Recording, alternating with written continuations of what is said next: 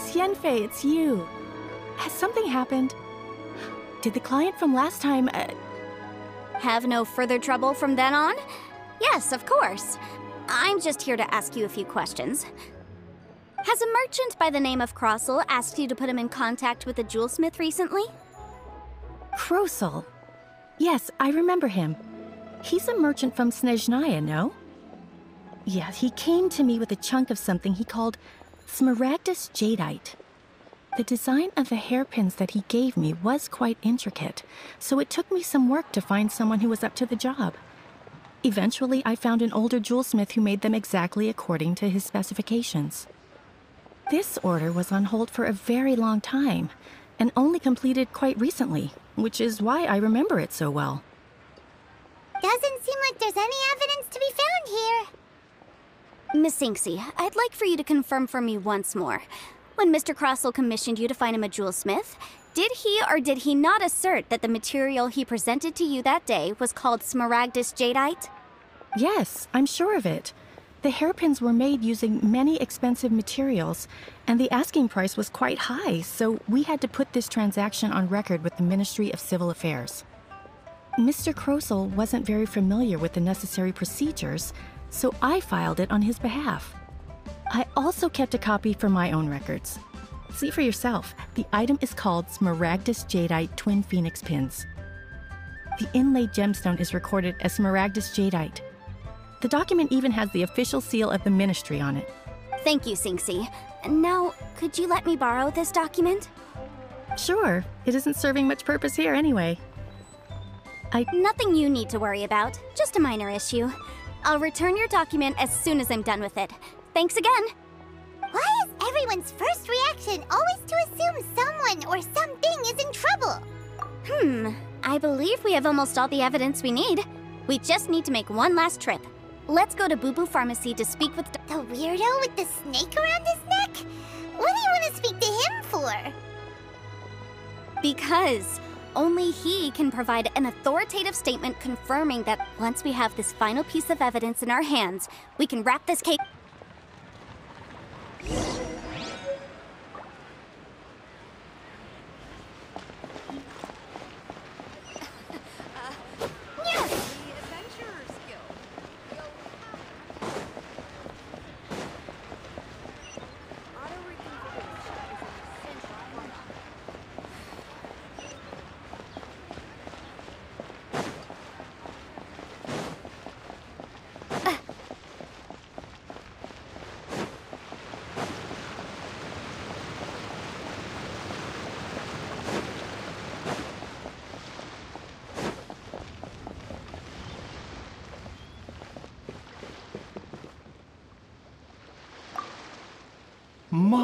My, my, to what do I owe the pleasure?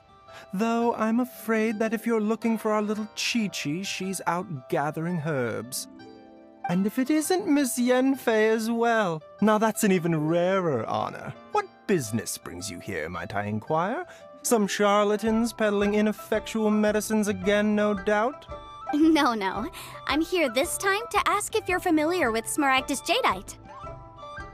Smaragdus jadeite? Why, yes, there is some information about it included in the sixth commentary on the Seven Mountain Treatises. The Seven Mountain Treatises states that this substance springs forth from stone marrow within the mountains and will bring disaster to any mere mortals who touch it. It is abundant in elemental energy, so if someone without a vision is in contact with it for a prolonged period, Anyway, I'm sure you didn't come all this way just to chit chat. Knowing you, Yanfei, and given the specific nature of your question.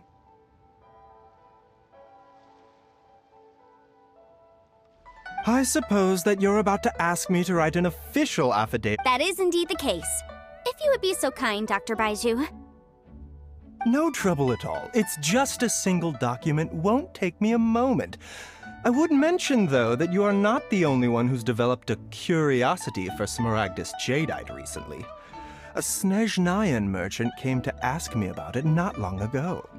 But after I gave him my reply, his expression shifted to one of remark. I wonder, Miss Yanfei, If your pressing business might be related. Ah, you needn't concern yourself about that, Dr. Baizhu. Thank you for penning us that document. I'll make sure to compensate you in due course. You're too kind. Take care now. That Baizhu guy is as weird as ever. Is it just Paimon, or does it feel like he was fishing for something back there? Dr. Baizhu's always been like that. Well, we have the evidence we need. Let's go find Mr. Crossell.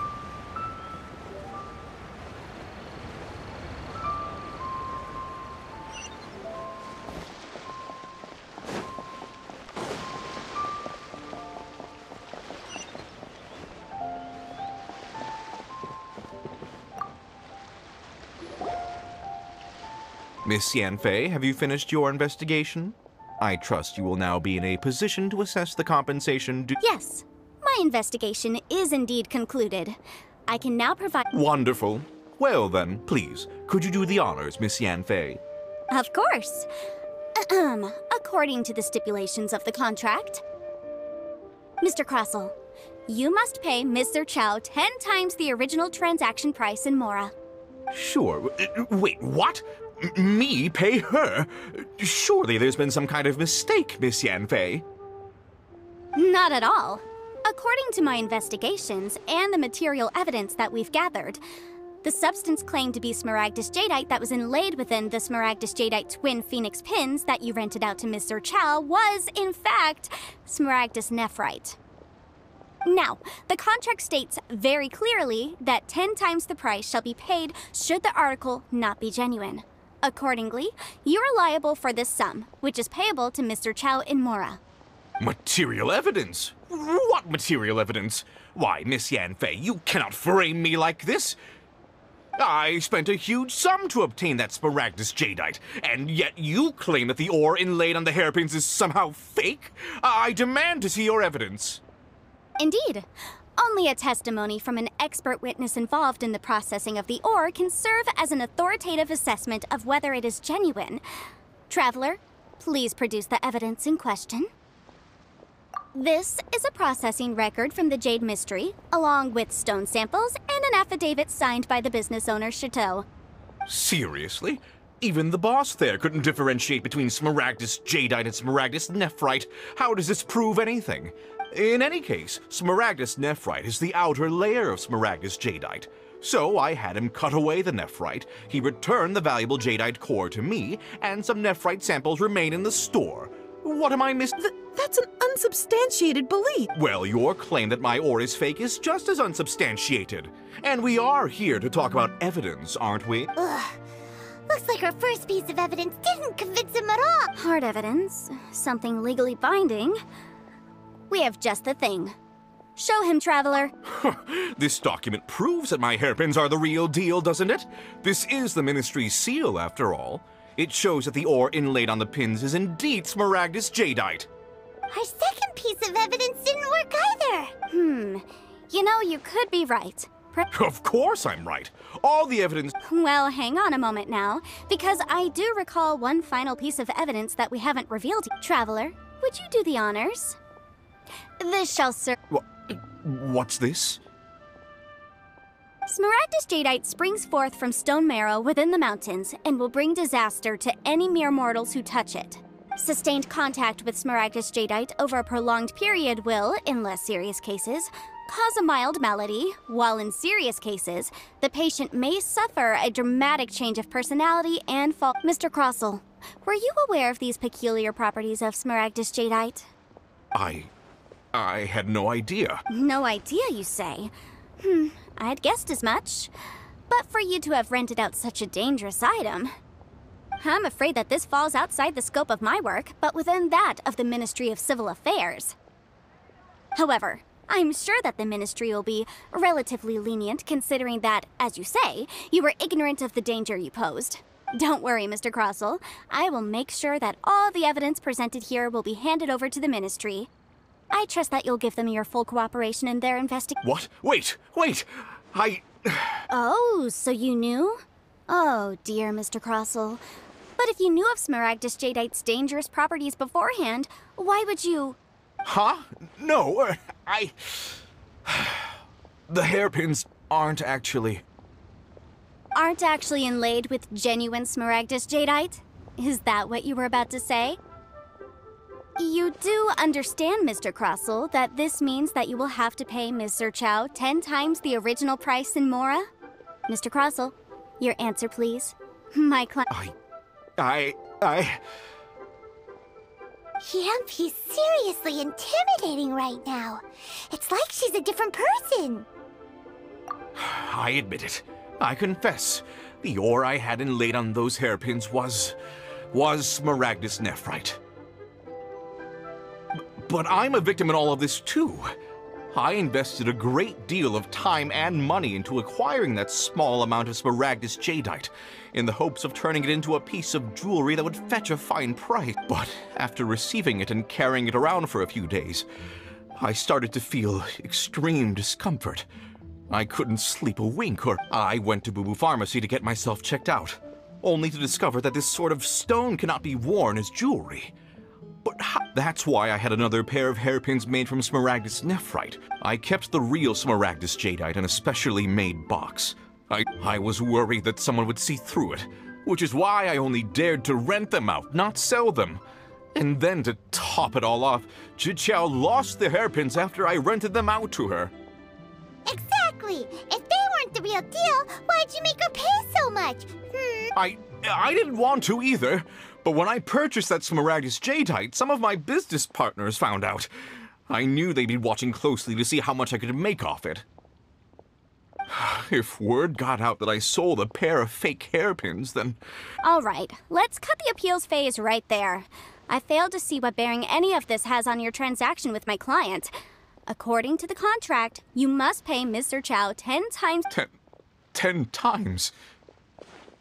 Crossell looks like he could faint any second. As for me, according to my contract with Mr. Chow, 20% of that sum will go to me. Twenty percent? That's as much as I spent on that Smaragdus Jadeite. Um, there's no need. It's fine. You don't have to pay me that much, Mora. Even if the Smaragdus jadeite on those hairpins was fake, I still bear responsibility for losing them. Legally or not, I think I owe some compensation. Ms. Jiqiao. However, Mr. Crossell, since you have no use for that chunk of Smaragdus jadeite, why don't you give it to me and All right then. This cursed rock's brought me enough grief as it is. Miss Yanfei, I'll turn this Smaragdus jadeite over to you. I trust that it will suffice as re- Well, um, that's not quite how the rules say this should go. Thanks so much for your help this time, Miss Yanfei.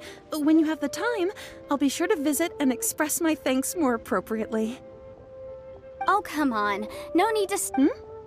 Well, yeah. Well, then, that's good. Mr. Crossell, it seems that my client has no further claims against you. Is. is that so? That's good. That's good.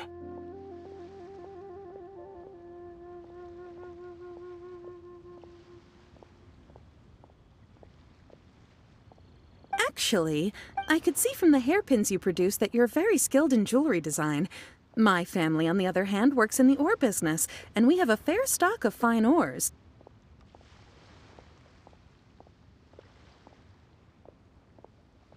If we could join forces, your jewelry designs and our choice ores, I think we could do some fine business between us. I, uh. Let me think for a moment.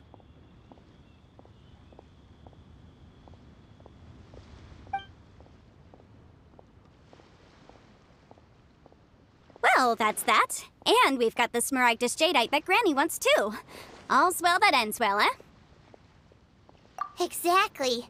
Usually when someone tells us they've lost something, we end up searching all over the place for it. But this time, you managed to solve the problem with just a big stack of documents. Even though the solution didn't involve actually finding the hairpin. The right solution depends on your perspective on the problem. The objective of my client, Mr. Chow, was to reduce her liability to pay compensation. So, rather than looking an adeptus, Speaking, Liyue Harbor is now a city ruled by humans. The title of Adeptus means precious little to me compared to my job as a legal advisor. In any case, don't you think that the Liyue Harbor of today needs legal consultancy far more than it needs adeptal powers? Paimon can think of someone who would definitely disagree with your reasoning. Well, since we got what we came for, it's time to pay Granny a visit. I bet she's been on tenterhooks for a while now.